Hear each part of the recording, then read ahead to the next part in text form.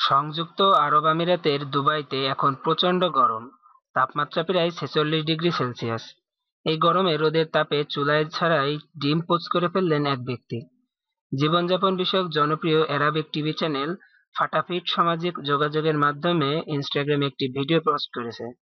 তাতে দেখা যায় একটি বাবুর্চি রোদে উত্তপ্ত রাস্তার উপর কড়াই রাখেন। তার প্রায় দশ মিনিটের মধ্যেই ভেজে ফেলেন ডিমের সুস্বাদু পোচ।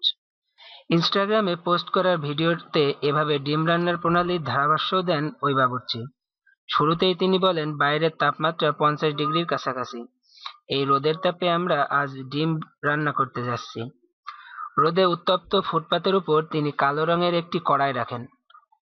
দশ মিনিট কড়াইটি রেখে দেওয়া হয়। এরপর কড়াইতে তেল দেন।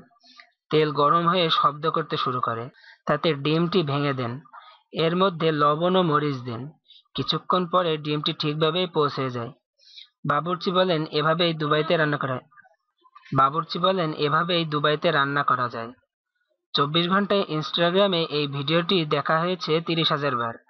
এই ভিডিও যারা দেখেছেন, তাদের অনেকেই মজা পেয়েছেন, অনেকে আবার বিস্মিত হয়েছেন। ইনস্টাগ্রামের ভিডিও দেখে এক মন্তব্যকারী বলেন, ইউএইতে থাকলে কার আর চুলা দরকার? আরেকজন মজা করে মন্তব্য করেছেন, গরমের সঠিক ব্যবহার।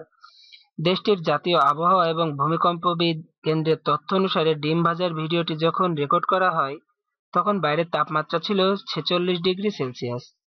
এবছরের শুরুতে ভারতের ওড়িশা রাজ্যের তিতলাগড়ে রোদের তাপে ডিম ভেজেছিলেন এক ব্যক্তি। সামাজিক যোগাযোগের মাধ্যমে ছড়িয়ে পড়া ভিডিওটি ব্যাপক সাড়া ফেলে।